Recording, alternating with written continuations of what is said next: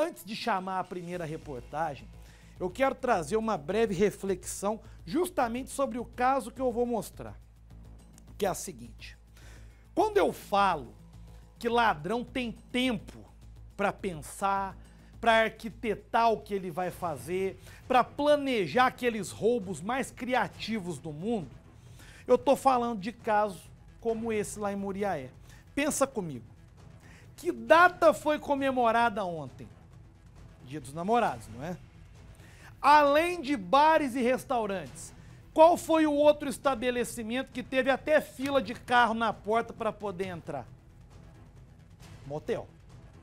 E foi justamente esse o alvo escolhido por uma dupla de assaltantes lá em Muriaé. Imaginaram o quê? Dia dos namorados, movimento foi grande, a gente vai ter muito o que roubar lá. Vamos sair com o bolso cheio. Então os dois, e a informação até que o Vinícius me passou depois, é de que era um casal, um homem e uma mulher. Os dois esperaram passar aquele horário de pico e agiram já na madrugada de hoje. O Vinícius Ramos vai contar como foi que isso aconteceu, porque além da escolha do alvo, os caras também foram criativos na forma de agir. Né? Ladrão pensa em tudo. Chegaram lá, pediram quarto e tal, e você vai ver o que, que esses criminosos fizeram para conseguir render os funcionários e levar uma dinheirama danada. Põe no cidade. O motel invadido fica às margens da BR-356 em Muriaé, na Zona da Mata. Segundo informações da Polícia Militar, o casal de criminosos chegou no local durante a madrugada. O plano deles era primeiro se passar por clientes. E foi assim que aconteceu, de acordo com uma testemunha com quem eu conversei por telefone. Segundo essa pessoa, os criminosos chegaram no local por volta das três da manhã em um carro de transporte por aplicativo. O casal pediu uma suíte e entrou. Até aí, tudo normal. Mas cerca de 20 minutos depois, eles ligaram na recepção e pediram para que alguém fosse até o quarto. A desculpa deles era de que a TV da suíte estava estragada. O funcionário então foi até lá para ajudá-los, mas ao chegar no local foi rendido e puxado para o quarto pelos ladrões. Lá dentro ele teria sido agredido com uma coronhada. A dupla que estaria encapuzada nesse momento ainda teria o amarrado.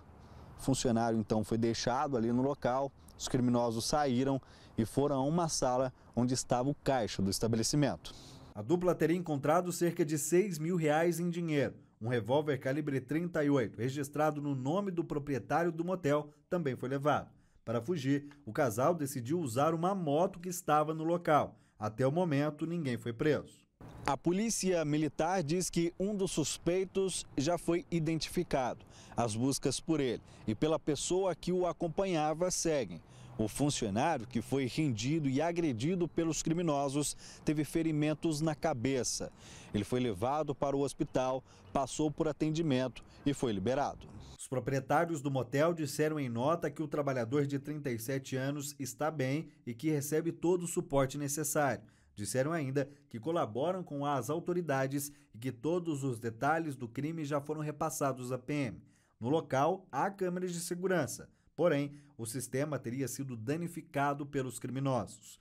Uma equipe técnica tenta recuperar as imagens para repassá-las à polícia.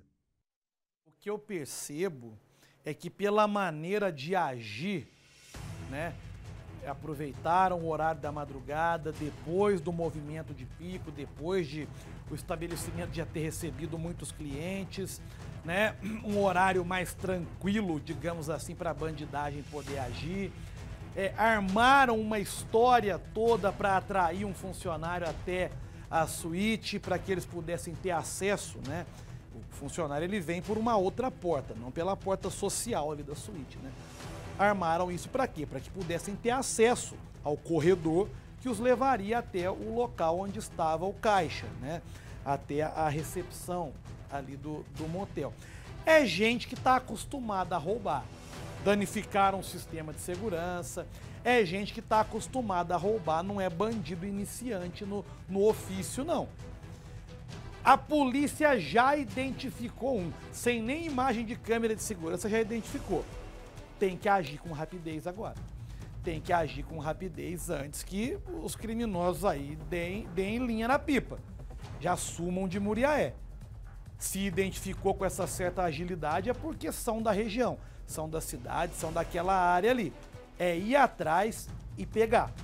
Em relação ao dinheiro, é, é, eu nunca vou iludir aqui quem está me acompanhando, nem as vítimas, nem ninguém.